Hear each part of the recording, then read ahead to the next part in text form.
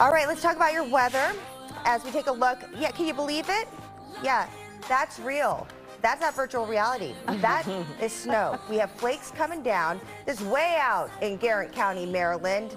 Uh, you know, close to West Virginia, these, those parts. Deep Creek, I'm told, uh, by our meteorologist Caitlin. Yeah, it's, it's way out there, but it's still our viewing area in Garrett County.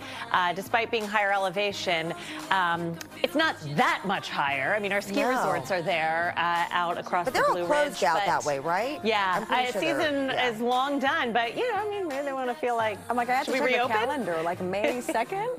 Build a May snowman. 2nd. Wow. And the snow is accumulating. It's uh, Grantsville, which is a town in Garrett County, three and a half inches of snow already. Wow. It's like a winter storm out there. I know. It's wild.